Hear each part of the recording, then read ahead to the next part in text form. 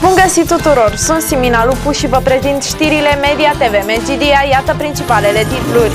În curând și orașul nostru s-ar putea bucura de un centru național de informare și promovare turistică. Polițiștii din Megidia vor demara încă o dată o campanie de prevenire, evaluare și consiliere antidrog. În curând și orașul nostru s-ar putea bucura de un centru național de informare și promovare turistică. Dacă acest proiect va fi aprobat în ședința ordinară de Consiliul Local a acestei luni, vor fi depuse la Agenția Națională pentru Turism documentația necesară pentru a fi evaluată și a se încheia un contract de finanțare. Luna trecută au fost aprobate structura și planurile acestui proiect, fiind vorba de o finanțare pe care Consiliul Județean a acordat-o pentru realizarea studiului de fezabilitate și a proiectului tehnic și pentru completarea cererii de finanțare. Această finanțare este asigurată de Guvernul României în proporție de 100% pentru ca în localități mai mari, ca Megidia, să existe un centru de informare turistică. În acest loc se vor găsi pliante și informații necesare care să vină în ajutorul promovării turistice a zonei, a județului Constanța și a Dobrogei și nu în ultimul rând a României. Centrul se va adresa tuturor cetățenilor și în special turiștilor pentru ca toate obiectivele turistice interesante din municipiul nostru să intre în atenția turiștilor și astfel să crească numărul celor care ne vizitează. Vom avea un centru național de informare și promovare turistică la Medgidia? Uh, eu așa cred că vom avea un astfel de centru.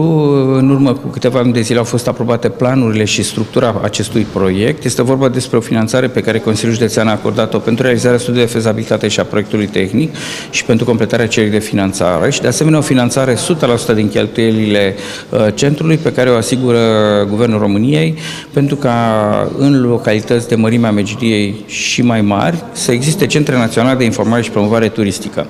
Este vorba de construirea unui Uh, loc unde, vor fi, uh, unde se vor găsi pliante, informații, casete, tot felul de, de documente care ajută la promovarea turistică a zonei în care ne aflăm, promovarea turistică a județului și a uh, Dobrogei și de asemenea promovarea turistică a României. Uh, centrul se adesează tuturor cetățenilor, dar în special turiștilor. Are în vedere ca uh, toate lucrurile interesante dintr-o localitate să poată fi văzute de, de turiști și în felul acesta să crească numărul de turiști care vizitează anual România. Uh, centrul va fi construit în spatele clădirii ADP, în curtea interioară, cu ieșire spre strada Călugăreni. Uh, toate costurile legate de înființarea centrului și de construcție sunt asigurate de Agenția Națională pentru Turism prin acest proiect, iar funcționarea va fi atributul primăriei. În cadrul centrului vor funcționa doi angajați care vor putea să distribuie informații, pliante, uh, materiale video, uh, vederi și multe alte lucruri de asemenea, care să Uh, permite turiștilor o mai bună informare și o mai bună orientare în legătură cu uh, locurile ce pot fi vizitate în, uh, în zonă. Dacă proiectul va fi aprobat în, în ședința de Consiliu Local de mâine, atunci el va, va fi depus la Agenția Națională pentru Turism, unde va fi evaluat și numai evaluării se va încheia un contract de finanțare. Centrul de informare turistică are ca misiune promovarea Megidiei ca valoare culturală, istorică, economică și religioasă în context european. Acesta va asigura legătura indispensabilă a orașului cu turiștii, realizând informarea cât mai obiectivă și completă a acestora, precum și activitatea de promovare a Megidiei ca destinație turistică prin toate mediile disponibile. Polițiștii din Megidia vor demara încă o dată o campanie de prevenire, evaluare și consiliere antidrog. Nici anul acesta elevii nu vor fi privați de prezența oamenilor legii în instituțiile de învățământ.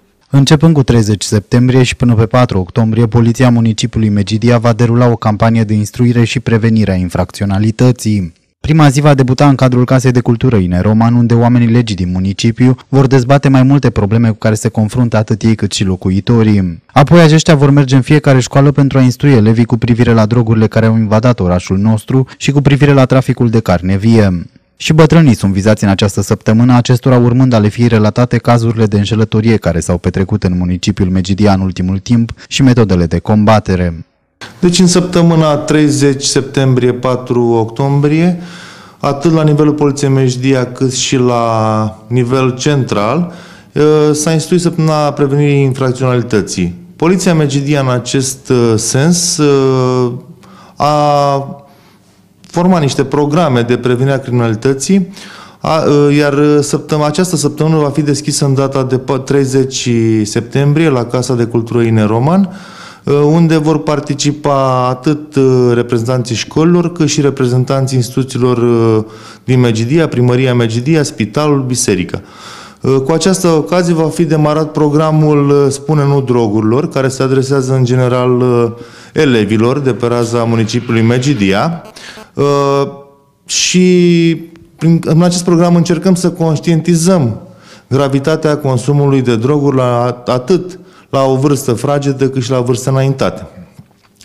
Tot ca și activitate în această săptămână, în ziua de marți, posibil tot la Casa de Cultură în Roman, demarăm un program adresat în general văznicilor, denumit Furtul, violența și înșelăciunea dăunează grav bătrâneții.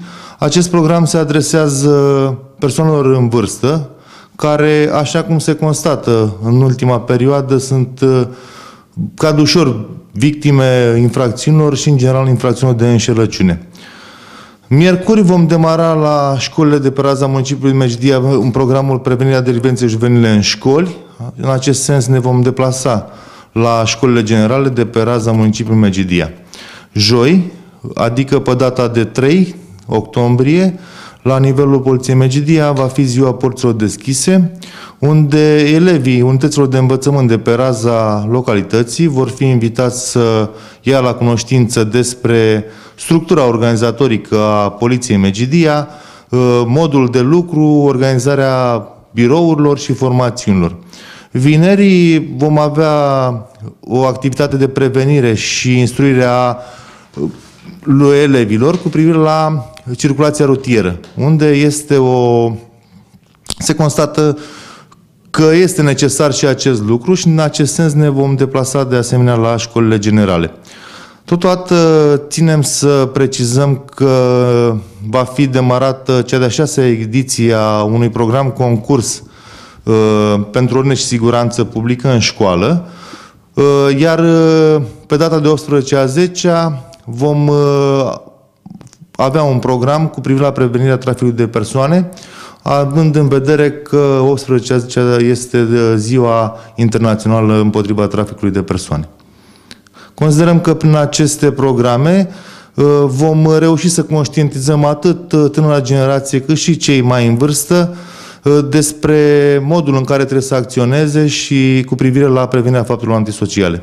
Aceste campanii sunt necesare din cauza faptului că lumea traversează schimbări profunde. Fenomenul drogurilor a ajuns să constituie o prezență negativă constantă a vieții cotidiene, dominând medii diverse, de la marile aglomerări urbane la sfera virtuală. Ne găsim în fața unui fenomen care afectează tinerii, echilibrul familiei, siguranța mediului școlar, comunitatea și întreaga societate. De aceea, oamenii legii din Megidia se vor afla în mijlocul elevilor pentru a le transmite mesaje antidrog, ce au ca scop informarea și conștientizarea efectelor pe care le produce consumul de droguri și de substanțe noi cu proprietăți psihoactive asupra organismului. În jurnal mai puteți urmări 2000 de voluntari din Megidia s-au înscris pentru a face orașul mai curat pe data de 28 septembrie. Începând de ieri, primăria municipiului Megidia, GBI Romania Service și Asociația Română pentru Reciclare derulează o nouă campanie de colectare a deșeurilor electrice și electronice de la populația din Megidia, dar și din Remus Opreanu și din Valea Dacilor. Partea interactivă a acestei campanii s-a desfășurat weekendul trecut, când locuitorii municipiului nostru au avut ocazia să se debaraseze de aparatele electrice și electrocasnice vechi sau defecte, acestea fiind preluate de la domiciliu de către reprezentanții Asociației ROREC. Pentru predarea aparatelor electrocasnice, cetățenii au primit aloane cu care au participat la o tombolă organizată duminică la sediul primăriei Megidia, unde au fost câștigate diferite aparate electrocasnice noi, un cuptor cu microunde, o cafetieră, o mașină de găurit, două aspiratoare și un frigider. Uh, care a fost scopul acestei acțiuni? Este vorba de o campanie de mediu pe care noi am desfășurat-o cu sprijinul primăriei Megidia și asociației ROREC. Scopul acesteia a fost de a colecta deșeurile electrice și electrocasnice din, uh, din municipiul Megidia, precum și din Remus Opreanu și Valea Dacilor. Așa cum știm, acestea au o destinație specială în sensul că sunt niște deșeuri periculoase care ele necesită o neutralizare aparte față de deșeurile menajere. Iar uh, acesta a fost un bun moment, un moment propice pentru a demara această campanie. Vor mai exista astfel de campanii? S-a, în acest moment s-a terminat doar partea interactivă a campaniei noastre. Este vorba de relația cu cetățeanul. Noi am mers la fiecare gospodărie, am vorbit cu fiecare în parte, însă de luni va intra în, în, în rândul lumii, ca să spun așa, programul nostru de colectare Aici lumea se va prezenta la sediul nostru din uh, strada Republicii numărul 86 și le va depune. Până acum am mers noi cu mașinile noastre pentru a face această colectare, însă de luni, dacă sunt acestea sunt voluminoase, vom fi contactați telefonic, dacă nu, îi rugăm să vină la sediul nostru și să le depună. În continuare vor fi acordate acele etichete cadou și aici mă refer pentru un frigider se vor acorda 40 de lei în etichete cadou și pentru o mașină de spălat 40 de lei, urmând ca fiecare să-și ridice aceste premii de la sediul nostru. Am participat și la o tombolă. Câte premii au fost acordate? Au fost acordate șase premii. Eu zic că au fost dintre cele mai, mai importante. Ați văzut și dumneavoastră, s-a desfășurat fără niciun incident și sper să avem în continuare aceeași conduită. Ce au constat premiile? Uh, au fost acordate premii constând în frigider, două, două aspiratoare marca Philips, o mașină, uh, un cuptor cu microonde, o mașină de găurit și o cafetieră. Cetățenii Megidiei pot merge în această săptămână la centrul de colectare ROREC pentru a depune electrocasnicele și aparatele electrice vechi sau defecte. Sau pot contacta reprezentații Asociației ROREC pentru ca aceștia să le preia deșeurile de mari dimensiuni de la domiciliu. În schimbul aparaturii predate, fiecare deponent va primi cupoane valorice pe baza cărora poate să-și cumpere electrocasnice noi. Peste 2000 de voluntari din Megidia s-au înscris pentru a face orașul mai curat pe data de 28 septembrie. Aceștia vor ieși în stradă pentru a face curățenie în locurile care nu se află în subordinea firmei de salubrizare din municipiu. Cel mai mare proiect de implicare socială din țara noastră, Let's Do It Romania, se va concretiza și anul acesta pe 28 septembrie, cu sprijinul Ministerului Mediului și Schimbărilor Climatice. Astfel, această dată este declarată Ziua Națională a Curățeniei, iar voluntarii implicați în campanie vor colecta într-o singură zi deșeuri menajere din arealele naturale, precum păduri, câmpii, malurile pârburilor și de pe marginea drumurilor, dar și din afara orașului. Astfel, acest proiect implică asumarea unui rol activ al societății civile și participarea cetățenilor într-un număr foarte mare la acțiuni ecologice, elemente esențiale pentru îmbunătățirea condițiilor de mediu din România. Let's Do It Romania oferă posibilitatea să ajutăm natura, să o curățăm de deșeuri și să arătăm că suntem responsabili. Ce înseamnă mai exact acțiunea Let's Do It România? Let's Do It România este o acțiune de voluntariat, un exemplu personal de civism care uh, cheamă oamenii să vină într-o singură zi să participe la uh, implicarea voluntară pentru strângerea deșeurilor aflate în arealele uh, imediat învecinate localităților sau orașelor. De cât timp datează acest proiect? Uh, a început uh, acum 5 ani de zile în Estonia și de 4 ani de zile există și în România. Uh, iată, anul acesta, pentru al patrulea an consecutiv, Lezuit România se întâmplă și la Constanța și ne bucurăm de, de acest lucru. Câte țări sunt participante în afară de România și Estonia? Uh, aproape 30 de țări se implică cu o zi a, dedicată uh, acestui eveniment uh, pe parcursul anului. Nu se întâmplă în toate țările în aceeași lună sau în aceeași săptămână, dar câteva milioane de, de oameni din Europa și, și din Eurasia, aș putea să zic, ies să, să facă curățenie. Ce îndemnați pe megidieni să facă pe 28 septembrie? Uh, sunt bucuros să fiu din nou în uh, orașul uh, Medgidia și de asemenea sunt uimit să aflu că deja peste 2000 de oameni de voluntari sunt înscriși pe listele voluntarilor pentru ziua de 28 de sâmbătă. De altfel, de la ora 9 dimineața, voluntarii sunt așteptați să primească saci și mânuși. Avem un coordonator um, aici în, în oraș care va coordona această acțiune pentru orașul dumneavoastră noastră. Spuneți-ne cu cine ați colaborat din municipiul Megidia Cine v-a îndrumat sau primăria s-a implicat în această acțiune? Da, uh, nu am știut până în acest an. Se pare că primăria locală susține financiar uh, proiectul. Peste 2000 de perechi de mânuși și 10.000 de saci vor fi distribuiți uh, cetățenilor care vor să participe la această acțiune sâmbătă. De asemenea, șase microbuze sunt disponibile pentru transportul din oraș către către zonele limitrofe, pentru că, iată, acțiunea se face doar în zonele unde nu există un contract de salubrizare. Prin urmare, voluntarii nu vor face munca de strângere a gunoaielor în zone unde există un contract sau cineva este plătit, ci doar în zonele unde natura este ea virgină, să spunem, și unde cetățenii noștri mai, mai nepasibili, da? nu, nu s-au implicat. Credeți că o să ne vizitați și la anul? Uh, cu siguranță, cu siguranță, pentru că uh, veștile acestea circă, circulă destul de repede și uh, mă bucur de faptul că, uite, orașul Megidia se implică cu două, peste 2000 de oameni Sincer, după atâta mediatizare, cred că o să fie chiar mai mulți, să vedem după data de 28 ce o, ce o să iasă. Ehm, da, în fiecare an îmi propun să ajung în cât mai multe localități, dar din păcate, fiind singurul pe județul Constanța, mi este foarte greu să-l uh, acaparez. Tocmai de aceea mă bucur că avem oameni uh, destoinici, oameni descurcăreți, care să ne ajute în coordonare și uh, chiar și autoritățile locale. Campania de strângere a deșeurilor din natură se află deja la cea de-a patra ediție. La primele trei au participat 650.000 de voluntari din toată țara, care au reușit colectarea a peste 1,6 milioane de saci de deșeuri.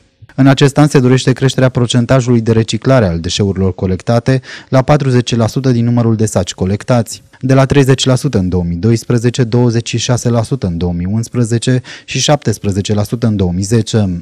Acest proiect este unul de succes și toate primăriile din țara noastră primesc cu brațele deschise această acțiune, mai ales că atât inițiatorii cât și coordonatorii nu au culoare politică.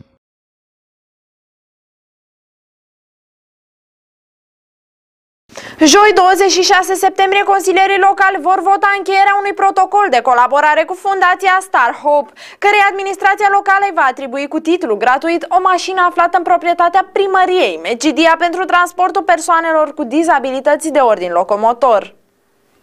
Primăria Megidia are deja un protocol semnat cu Fundația Star Hope pentru perioada 2008-2013 și dorește prelungirea acestui proiect pe o perioadă de încă 5 ani. După 2018, autovehiculul ar putea fi casat și ulterior scos la vânzare și s-ar putea încerca obținerea din donații sau sponsorizări a unui alt autovehicul pentru persoanele cu dizabilități de ordin locomotor. Primăria are deja un protocol pentru 5 ani, 2009 2000, uh, nu, 2008-2013, un, un uh, protocol încheiat cu Fundația Star Hope. Este vorba de punerea la dispoziția unui microbuz, ce a fost modernizat și amenajat corespunzător de către Fundația Starhop pentru transportul persoanelor cu uh, disabilități de ordin locomotor. Uh, persoanele respective beneficiază de transport pe care Fundația Starhop îl asigură acestora.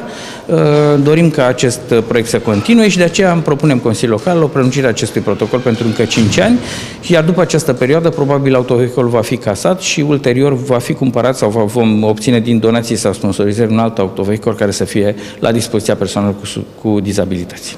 Fundația Star Hope din Megidia este o instituție cu caracter umanitar care vine în ajutorul persoanelor cu handicap, cu aparate recuperatorii locomotorii, aparate de gimnastică recuperatorie, orteze, proteze, cărucioare rulante, medicamente și aparatură medicală. Rămâne de văzut dacă aleșii locali vor aproba iar darea în folosință a mașinii necesare pentru persoanele cu dizabilități de ordin locomotor. Așa ar fi logic de vreme ce pe parcursul ultimilor ani reprezentanții fundației au investit mii de euro pentru a modifica autoturismul, astfel încât acesta să poată fi folosit în folosul persoanelor cu handicap. Și acum câteva informații din sport. Jucătoarea de tenis Simona Halep, cap de serie numărul 13 și locul 18 VTA, s-a calificat astăzi în turul 3 al turneului Premier 5 de la Tokyo, dotat cu premii în valoare totală de 2.369.000 de dolari. Constanțeanca a învins-o în turul 2 după o oră și 54 de minute pe nemțoaica Andreea Petkovici, poziția 50 în ierarhia mondială. Halep s-a calificat în optimile de finală ale turneului WTA de la Tokyo după ce a dispus de germanca Andreea Petkovici cu 7-6, 6-3 astăzi într-un meci din turul secund.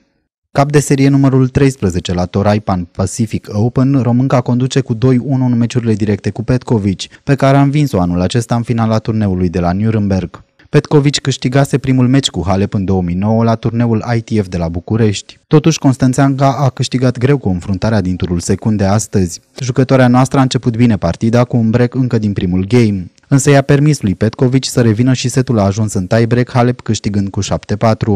Și în setul 2 românca a început bine, dar apoi s-a arătat incomodată de jocul nemțoaicei, fiind parcă deconectată de la importanța turneului. Unul de categorie premier care poate însemna un nou salt în clasamentul WTA și de ce nu o calificare miraculoasă la Istanbul. În vârstă de 26 de ani, Petkovic are doar 12 eșecuri în acest sezon și niciun titlu. Însă pe teren nu s-a văzut deloc diferența dintre cele două, Halep fiind mereu pe marginea prăpastiei în acest meci, așa cum s-a întâmplat și în turul 1. Astfel, Constanțeanca s-a impus la limită în ambele partide disputate până acum la Tokyo. Astăzi, Simona Halep și-a asigurat un cec de 24.300 de dolari și 125 de puncte WTA. Ea o va întâlni pe Venus Williams în optim, jucătoare americană impunându-se în fața Victoriei Azarenka. După ce a defilat în primele două etape ale Ligii Naționale, câștigând la scor pe teren propriu cu Târgu Jiu și Baia Mare, HCM Constanța se pregătește pentru primul derby al sezonului. Hambaliștii lui Zvonko Sundovski merg în Moldova la rivala din ultimii ani Știința Bacău. Handbal Club Municipal Constanța merge în Moldova în fieful rivalei din ultimii ani, Știința Bacău. Cele două echipe se vor întâlni din nou de această dată în campionat. După ce campioana României s-a impus în Supercupa României în urmă cu aproximativ două săptămâni, scor 23-18, cele două formații se vor afla față în față în etapa a treia Ligii Naționale de Handbal Masculin, mâine de la ora 18 în partida programată la Bacău. Deși le-au luat băcăuanilor toate trofele în 2013, campionii nu uită că anul trecut au suferit la Bacău o înfrângere categorică. Astfel, chiar dacă HCM Constanța pornește cu prima șansă, având de partea sa și avantajul moral al tuturor obiectivelor câștigate în fața băcăuanilor în ultimii ani, gazdele vor dori cu siguranță să răstoarne calculul hârtiei. La un meci cu Constanța e mai ușor să-ți motivezi jucătorii. Apărarea cred că este punctul nostru forte, pentru că pe faza de atac mai avem jucători care, cred eu, nu sunt la potențialul lor maxim. Pentru a avea un bun rezultat, știința trebuie să marcheze aproximativ 30 de goluri. În momentul de față, dacă vrem să avem aspirații la un handbal modern, trebuie să avem în fiecare repriză 15 goluri marcate. Acesta trebuie să fie obiectivul nostru al unei echipe care se respectă. În meciul cu HCM consider că plecăm cu șanse egale. Meciul din Supercupa a lăsat urme care nu se șterg ușor și țin cu tot din adinsul să demontăm acele nereușite, pentru că au fost niște momente în care noi am greșit. Nu trebuie neglijat faptul că este un alt meci. Ar trebui să fim animați de o altă ambiție, de o altă atitudine privind abordarea acestei partide, a declarat Eliodor Voica, antrenorul formației Știința. Deși echipa antrenată de către Eliodor Voica a făcut transferuri mai spectaculoase în vară, aducându-i pe Fenici de la Timișoara, Rusia și Johansen de la Odorhei, constanțenii și-au demonstrat superioritatea în Supercupă, câștigând clar meciul disputat în București la începutul lunii. Cele două echipe au maximum de puncte după primele două etape, fiind despărțite doar de golaveraj care avantajează HCM-ul. Suntem 100% motivați, Chiar dacă nu ne-ar spune antrenorul nimic, tot am fi montați pentru meciul ăsta pentru că mereu am dorit să luăm locul Constanței, să terminăm înaintea lor și simt că anul acesta este accesibil. A fost mai greu la meciurile amicale, legăturile încă nu le-am închegat așa cum trebuie, dar diferența se vede de la meci la meci. Începem să ne simțim bine unul cu celălalt. Sperăm ca meciul acesta să arate tuturor că suntem la un nivel ridicat. În urma primelor două partide din campionat avem un moral bun, dar și ei vor fi montați la ora meciului. De câte ori au venit aici, le-am pus foarte mari probleme și au plecat învinși aproape de fiecare dată. Ei știu ce așteaptă aici. Trebuie să marcăm goluri ușoare pentru că în Supercupa am ratat mult de la semicerc. Dacă de la început ne intră mingile în poartă, moralul portarului scade și nu mai este la fel de eficient. Avem nevoie de o apărare bună și să tranșăm fazele clare, a declarat și Cristian Ghiță, interul dreapta al formației Știința Bacău, unul dintre jucătorii care ar putea avea un rol important în această partidă. Pentru această partidă, tehnicianul Zvonko Sundovski ar putea avea pentru prima oară de la începerea campionatului întregul lot valid, după ce au lipsit pe rând Criciotoiu, Novanc și Sadoveac. Dacă primii doi au revenit deja în confruntarea de vineri cu HCM Minaur Baia Mare, câștigată cu 35-23, Timișoranul pare și el refăcut și să-și ajute echipa. În ambele confruntări din acest campionat, Sundovski a oferit minute de joc și tinerilor Albel Cristescu și Ramon Șomlea, primul fiind chiar titular în meciul cu Pandurii Târgu Jiu din prima etapă, scor 34-20. Evoluțiile celor doi l-au mulțumit în mare parte pe tehnicianul macedonean, chiar dacă acesta așteaptă mai mult și pe faza defensivă. Prognoza meteo pentru următoarele 24 de ore. În această noapte, mercurul din termometre va urca puțin, ajungând la valoarea de 12 grade Celsius. Mâine cerul va fi parțial noros și maxima va indica la orele prânzului 23 de grade Celsius. Acestea au fost știrile Media TV Megidia. Sunt Simina Lupu și vă mulțumesc pentru atenție. Dacă aveți informații sau imagini care pot deveni o știre, ne găsiți la sediul redacției noastre din incinta Casei de Cultură a Sindicatelor Lucian Grigorescu. De asemenea, suntem disponibili la adresa de e-mail mediatvmegidia.com, pe Facebook la numerele de telefon 0241 820700 0728 820700 sau pe site-ul nostru mediatvgroup.ro. O seară liniștită! Pe curând!